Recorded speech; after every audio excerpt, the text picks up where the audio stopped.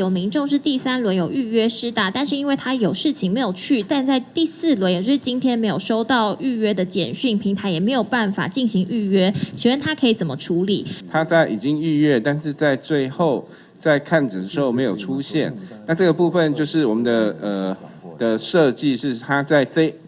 就是在下一轮呃，比如说现在是现在是在呃开放第四第四轮的部分，那第四轮他有他有预约，但是没有去，那会在第六轮的时候还才会再收到收接到这个简讯通知，他再去预约哦，所以会会有一轮他没有办法收到啊，以上。